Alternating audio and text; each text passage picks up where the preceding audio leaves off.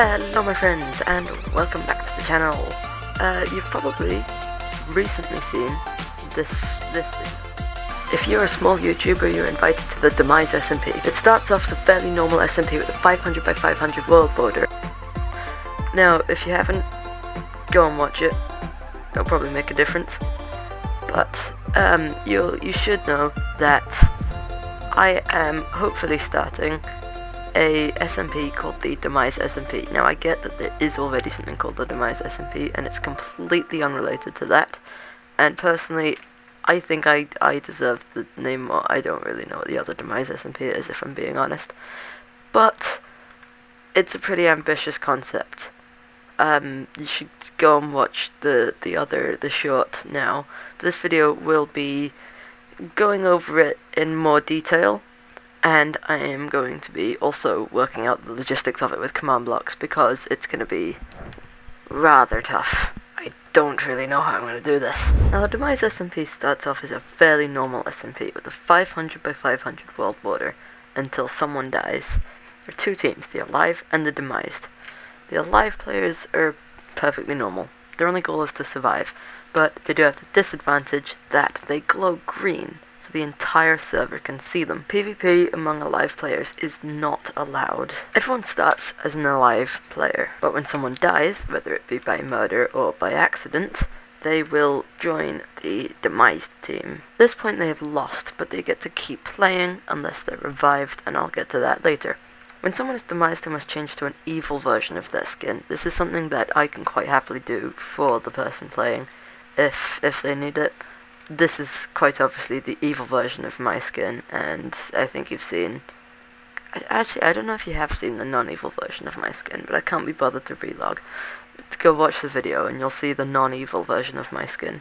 The Demise players are practically ghosts. They can't be touched by anyone, and they can't engage in PvP in any way. But their goal is to kill people. So, what they need to do is trap people and then the server will start on easy mode for 24 hours to give people some time to gear up, and then it will switch to hard mode and people will start to die. Alliances are very strongly encouraged for two reasons. I'm only going to mention one of them because the other one is, you know, just for my side of it, you know, it's, yeah, it's like a something that I want that if I tell people that I want it, then it probably won't happen. Does that make sense? Anyway, alliances are encouraged because each of you will, not you, each of the people playing is allowed to revive one person. And then, the if you have a lot of alliances, then you'll have a lot of lives because people will give their one life to you. But of course, you have to be considerate. Like, the more alliances you have, you've got risks of betrayal and stuff. When people die, and it's just all, yeah. I mean, there's nothing stopping you from. Oh, that's the. There's nothing stopping you from being allied with the demised person, really. You know, that's not against the rules. Um, uh, eventually, there'll be one winner who will win a surprise prize. It pretty much depends on what things they have and how much money I can save. Lastly, this won't be starting for another few months. Uh, looking for about 20 to 30 players. To be honest, I was thinking this would take a little bit longer, but actually, I've already got like 10 people, including myself, I think. I mean, I wanna, I wanna find about 30 to 40 people, and then so I can choose the people that I don't want, if that makes sense. I can make sure that I really get along with everyone. With that all out the way, let's get right into it. So to start off with, I'm gonna need teams. Oh, that's just stuff for the intro. Start off with, I'm gonna need teams. So, slash team add alive and demised. By the way, this isn't to be the actual world that it's it's on. That's to be a different world. But once I figured out the logistics in this world, then hopefully I'll be able to yeah, yeah. Hopefully I will be able to replicate it in the, the actual demised world. I don't know what I'm saying. I think you get the point though. You know, I'm just gonna know how to do this. I'm gonna figure out how to do this, and then I'm gonna do it again when I have to. Right, next I think we're gonna need something like this. Scoreboards, objectives, add deaths, and I think there is, yes, death count. So, uh, this will probably be hidden in the actual game, but just for testing purposes, I'm going to, um,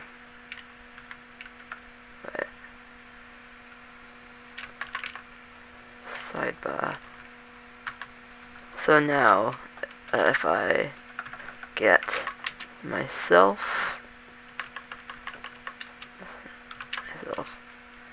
myself, zero, there you go. That'll appear on the sidebar, but that's just for testing purposes. It's not going to be there. It will be hidden for the actual game. Um, right. So I think it's time to start placing command blocks now. Um, command block. Oh, one thing that we do need to do is uh, game rule command block output false. What this does is it means like when I press the button for the command block to activate, it won't say in chat what's going on. It will just all happen without announcing it all in chat. So, um, first thing that I'm going to want to do is slash team, no, wait, slash effect give everyone in the team alive glowing for okay and then repeat and always active. And now this would be absolutely spamming the chat. Oops. This would be absolutely spamming the chat if I had um, command block output on but now hopefully this means that if I team join alive I will start glowing and if I leave the team, I stop glowing. Perfect. And then I want to do pretty much the same thing, but I want the demised to have uh, resistance, so they are invincible forever. So now if I uh, join demised, you'll see I've got resistance there, which means I will be completely invincible. Yep, I am completely invincible.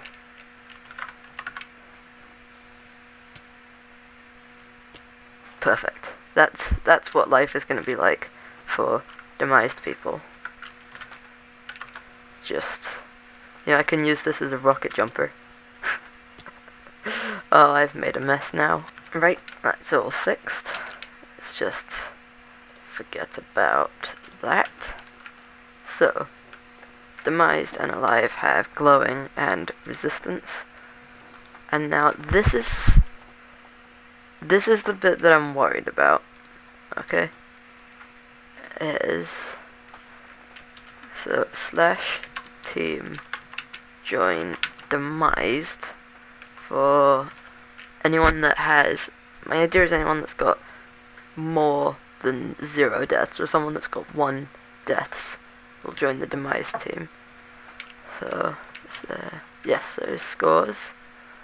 How do I, how does this work? Oops. Um, ah, I, I don't.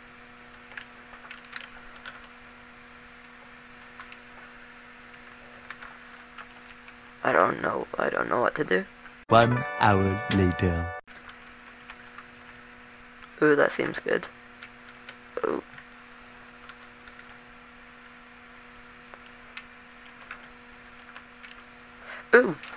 we've got yellow. That means that it is working, I think. Wait, let's go slash team modify demised color uh, dark gray. Okay, I'm in the demise team. Uh, team leave. Not in the demise team. Now if I go, if I kill myself, I've got one death. Nope. Oh, I know. I think I know why that's not working. Uh, players. Set myself deaths. Zero. Yeah, I need this to be always going. Now, if I spawn point here, that puts me in the demise team. That is perfect. Ooh, I seem to be flashing in and out of it though. Don't think that's too great. Uh, I am slightly worried about lag actually. If I've got 20 people in a world, then this could go south. Um, especially since I'm constantly joining that team. Okay, let me see if there's a better way to do this. Just to save my time, I'm gonna make another version of this. So now if I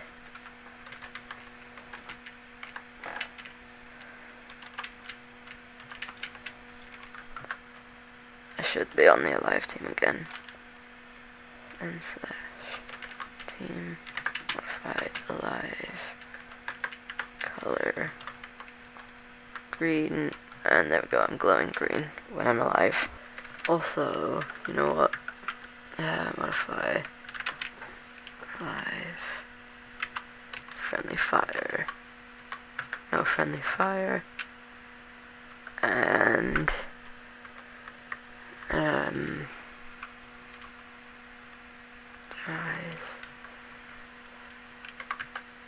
There, okay. Right, okay. Okay, I couldn't figure out a way to do this. So, I'm just gonna make them activate slower.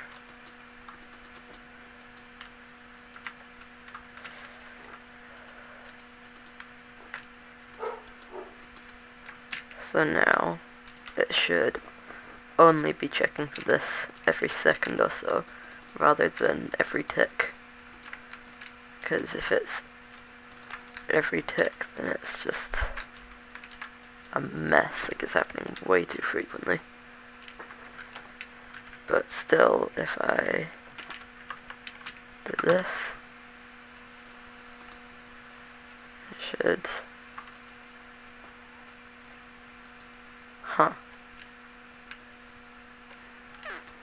Why is that? Oh, that's why. So if I shows the way to unkill scoreboard players set myself to zero nope set deaths to zero that will probably explain a fair amount why isn't it ticking though? This is probably why it isn't ticking. There we go. Now, it's a little slow to respond, but it's not a problem. So every time, essentially every time this, actually every time this one flashes, but essentially every time this one flashes, right? Then all alive, all players with death zero will be alive, and all players with death one will be demised. And I think that works just fine. And of course, I don't need to worry about doing more than one or anything, because the demised people will be invincible. Now the next thing is, I want to try and make it so that, um, I want to try and make it so that demised people can't do any damage to alive people. And that's gonna be tough. You know what? I'm I'm just, I'm just not gonna worry about it because I'm fairly certain I'm just gonna make it so that if it was a PvP kill, I'll just discount it. I'll set someone back to zero deaths, and that'll be that. Um, and I'll just, you know, trust people not to do PvP kills because it won't count. You know, I'm not gonna count someone as demised. I'll I'll switch them back ASAP. I feel like that can't be just it, but that seems like a fair amount of it done right there. Okay, after watching tutorials for about an hour straight, I think I know what to do now. I think. Okay, it should be. Uh, okay, I've forgotten. Okay, so what I want to do is slash scoreboard objectives add revive trigger and then I want this to be always active. Scoreboard players enable everyone revive. So now slash trigger revive but it does absolutely nothing.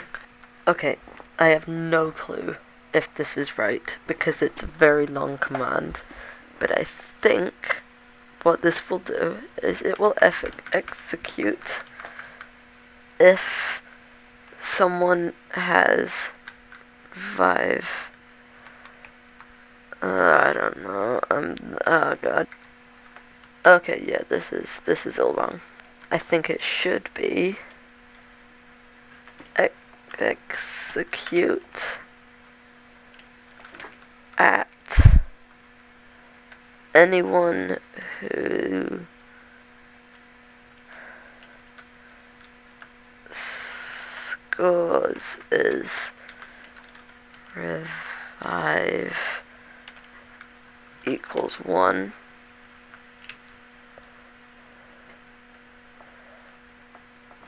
Um, then x for 5 equals 1.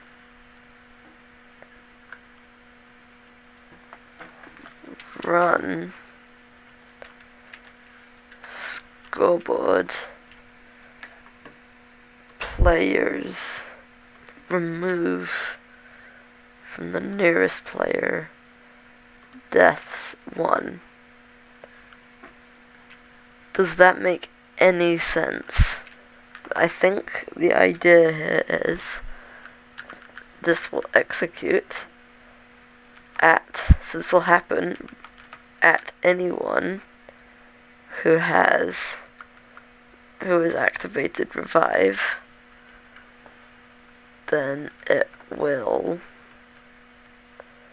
this command, scoreboard players remove one death from the nearest person.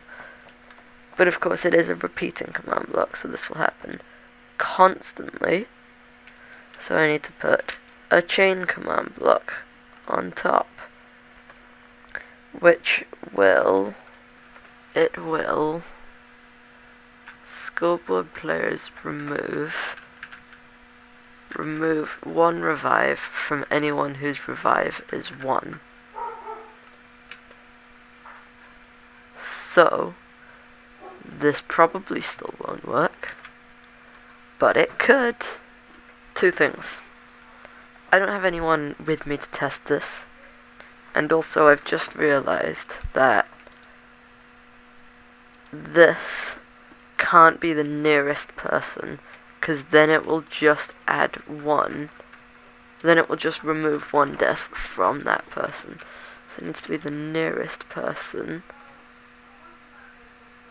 that scores is deaths equals 1. I don't understand why this isn't working. It seems kind of simple-ish to me.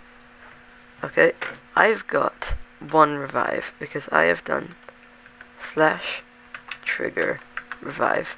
It'll give me another revive, right? Purely for testing purposes. Now what should be happening is right, slash trigger revive. So it should be setting to 1. And when it's 1, then so this I'm guessing conditional this is pointing into here. No?